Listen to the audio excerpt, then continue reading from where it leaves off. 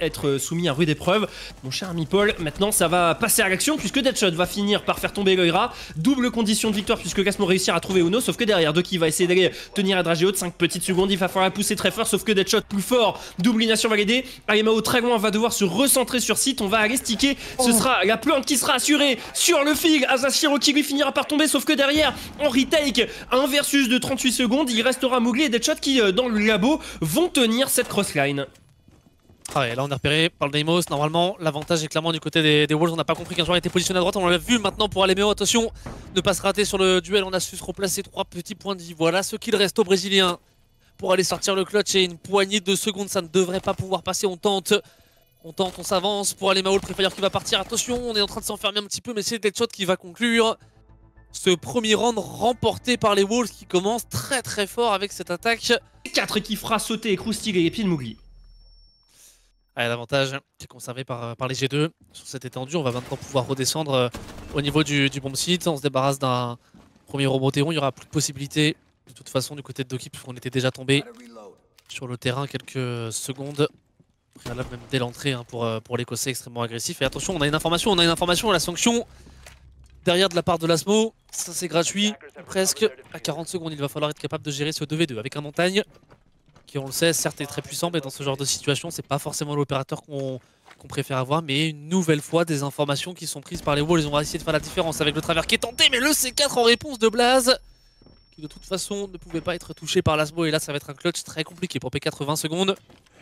Goumine dans les pieds on entend la verticalité qui est peut-être reprise. On a un Blast qui est repositionné. À l'extérieur du bomb site qui ne va pas aller challenger P4 et qui va même lui mettre une énorme tête. Les G2 qui répondent du tac au tac, un partout. Ouais, c'est peut-être qu'on essaye de faire ici pour, euh, pour mettre un petit peu de pression. Azak qui va trouver l'ouverture, mais on n'a pas eu de timing ici. Un petit peu malheureux. Azak qui continue, lui, son festival avec un double frag, donnant l'avantage au Wolves. On va essayer de pousser dans cette dernière seconde. Il y a évidemment un petit peu de temporisation avec Blaze et le smoke. Attention à attention à ce move qui est extrêmement intéressant s'il n'est pas entendu. Et attendu, le Brésilien pourrait aller faire la, la différence. On va aller reprendre des dernières informations. Est-ce qu'on peut aller sanctionner le positionnement. Est-ce qu'on l'a vu ici avec le ratéro de, Deadshot? Ça devrait normalement aller faire la différence. Et malheureusement, on va se jeter un petit peu dans la gueule du loup. qui arrive à en récupérer un premier. Il arrive à une shoot même de la part de Deadshot qui donne l'avantage aux Wolves. Mais il ne reste qu'une dizaine de secondes. On est bien positionné pour Blaze, mais il est tout seul. Est-ce qu'on peut réussir à le faire pour le français face à ses compatriotes? Ça va tenir Blaze qui va clutcher autant en prenant ce dernier frag? Il a parfaitement tenu derrière son, bureau de la Master. Les Wolves qui semblaient avoir l'avantage ont été peut-être un peu pressés par le temps, Léo. Et ça, ça peut, euh, si ce n'est pas contrôlé par les Wolves, leur coûter la, manche. Et on voit justement Doki sur l'étage supérieur qui est en train pour l'instant de tenter, hein, semble-t-il, un, flank. Alors on a la gridlock évidemment qui a positionné certains de, de ces. Et on essaie justement déjà d'aller euh, tenter un retail pour Doki. Le switch qui va être fait. On n'hésite pas à se replacer au niveau du bomb site. On a compris que c'était peut-être pas le move à faire. Et la belle agression de la part de Mougli là, qui se débarrasse de Blaze. On accélère pour les Wolves. Deadshot qui va également faire la différence. On est en train de totalement percer à jour ce bomb site. 2v4, 2v4, on va essayer d'aller pousser très fort maintenant, on a la supériorité numérique, on va surtout euh, bloquer les comebacks à l'utilisation des Dark Tracks, à l'utilisation aussi euh, des Air Jab, et on le voit, on est obligé d'aller troquer quelques PV pour essayer de se revenir au niveau de ces quartiers, sauf que c'est trop tard, depuis la filtration, on le voit, il va devoir traverser le lab, il va devoir surtout essayer de se frayer un chemin, sauf que derrière, on a bel et bien le Suisse le plus énervé de la compétition pour le moment, encore une fois, hein, des situations du côté de Mowgli là qu'on pourrait euh, utiliser à bon escient. On est au niveau du side sud, donc euh, sur ce top, il va falloir réussir à se frayer un chemin. Et forcément, on se retrouve dans des configurations de couloirs qui sont pas évidentes. Normalement, le lance-rouge Kawan qui devrait prendre de l'information, ça... Ah oui, mais on est à côté du Mute Jammer, hein, du côté de Doki, ce qui permet d'éviter la catastrophe. Deadshot euh, va avancer tout droit sans forcément avoir d'informations. Attention à ces erreurs de droning. Et on se retrouve dans une situation, faut pas pusher tout seul, faut pas pusher tout seul Pas d'informations, mais que fait la communication derrière Doki pour la domination qui permettra de mettre si bien l'équipe des G2 alors que les Wogs malheureusement se prennent les pieds dans le tapis. Les insertions sont complexes, on le comprend. P4 qui va essayer d'aller pousser de son côté, sauf que derrière, eh ben, Doki, pas content, triplé, on arrivera dans la situation où on n'arrive pas à se frayer un chemin sur site. Ça met encore une fois en rigueur et ça montre un peu la référence hein, sur ce, top map où l'on comprend que malheureusement si on n'arrive pas à prendre les bonnes informations, derrière, on peut avoir des situations de supériorité totale et absolue de position. Je dis pas numérique, juste de position, à l'image d'un Doki qui va contrôler les fools. Et ouais, et là, ça pourrait être intéressant, effectivement. Un P4 qui fait un petit peu office de bait et euh, qui, euh, bah, derrière, facilite aussi les insertions de ses, euh, ses adversaires, ce qui pourrait, ses coéquipiers, pardon, ce qui pourrait être vraiment pas mal. Et attention, on le voit hein, sur euh, des sortes de travées, on pourrait réussir à euh, cliquer sur quelques petites têtes. Mowgli, donc c'est capable aussi. On va pouvoir tranquillement dropper, essayer d'aller chercher le balcon sud. Alors maintenant, il faut aussi apprendre de ses erreurs. Bah, ses erreurs, c'est justement le droning. Agemao pour aller chercher Deadshot, sauf que derrière, Mowgli sera là pour aller euh, finaliser son insertion et surtout aller corriger l'adversaire. Sauf que derrière, c'est le trou dans la raquette. Pas d'information. Bim, triplé du côté de Mowgli. On va faire tomber les têtes une à une. Et surtout, on se rapproche directement depuis la salle des serveurs. Attention, en vis-à-vis, on va essayer d'aller chercher le Hira. Et d'ailleurs, il peut à deux. Il va tout simplement croquer dans la line-up de ses adversaires. Moins 4 pour Mowgli. C'est le Busket Div qui permettra à Yanis d'aller chercher l'égalisation. 3 partout. Mon cher ami Frenchy, c'est un round qui est absolument parfait du côté des joueurs euh, Wolves Esports.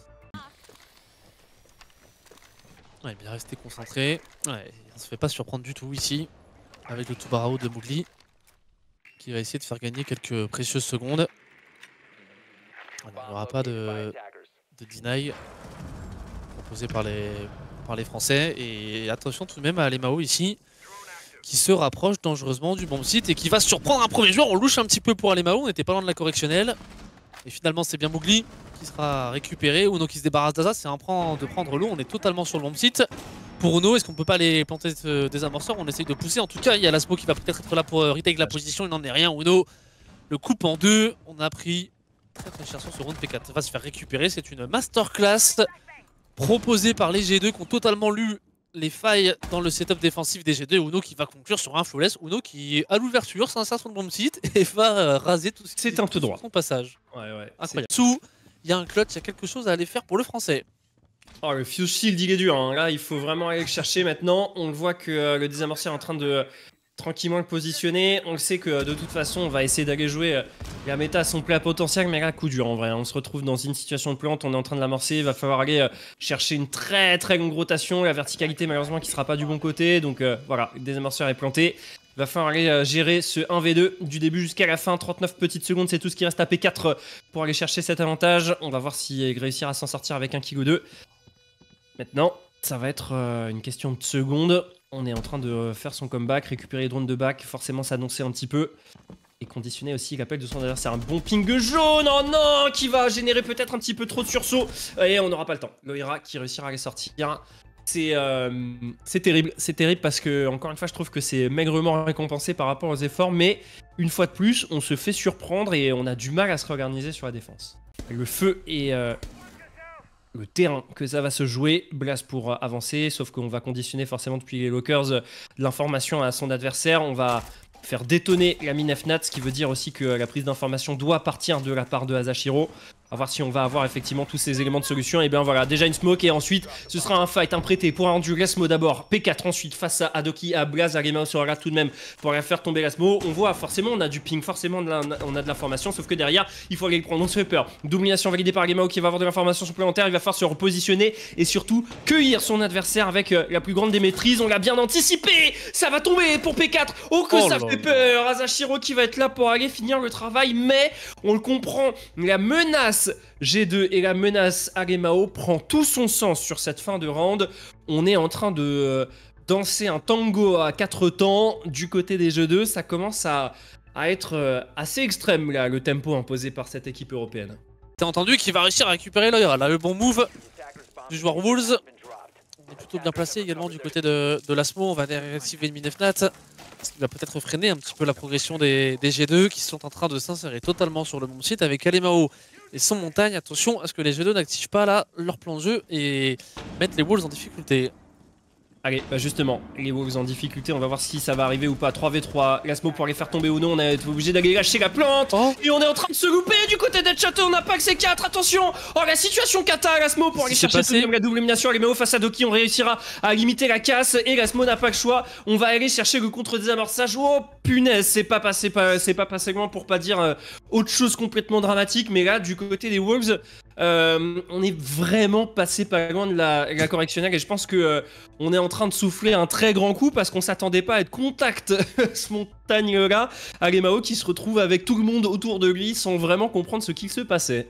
C'est compliqué à suivre, on va se retrouver avec Uno face à Rasmo et à Zashiro sur les arrêts de jeu. De toute façon, on va pouvoir peut-être porter le désamorceur. Maintenant, on n'a pas le choix, on va tenter le bait. 1 minute 25, on est en train de se repositionner. On voit tout de suite la réponse à des deux nouvelles recrues.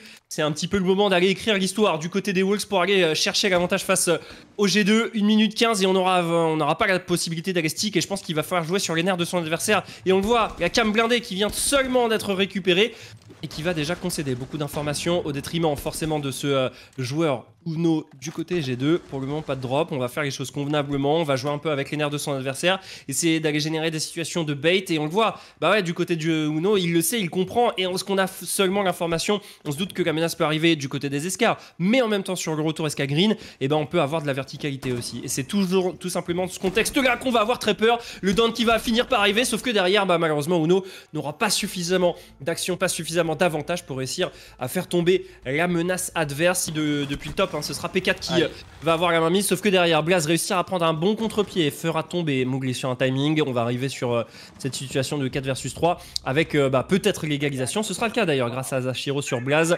Sauf que de l'autre côté, on arrive à proximité du bomb site. Maintenant, il va falloir réussir à aller se frayer un chemin. Doki, à l'aide de sa flash, fera tomber Azashiro. Et là, malheureusement, c'est un petit peu la pire des, des situations pour les Wolves qui vont se retrouver en infériorité numérique avec un shield en plus et avec le désamorceur qui va pouvoir euh, finir sa course vers une situation de plante et d'objectif. Lasmo pour aller faire tomber Uno. Attention, triple élimination validée du côté de Doki qui nous fait encore une fois un bon gros sur ce Dorgate. 13 petits PV. Il faut le calmer cet écossais.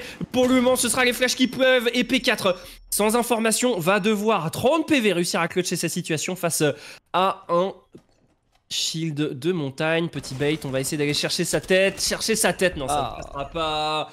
Oh, la moins 4 de Doki sur la fin du match qui prive les euh, Wolves de 3 points. Pingé, forcément, il y a du euh, dispositif de blocage d'accès. Puisque de toute façon, du côté d'Azashiro, on va sortir euh, le Capcan. Donc maintenant, eh ben, il va falloir réussir à se frayer un chemin. on attend, on attend pour l'Aira.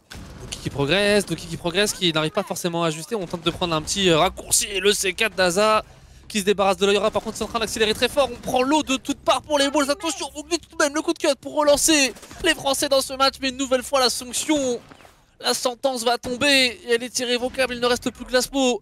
Peut-être pour aller retourner cette euh, première manche d'overtime.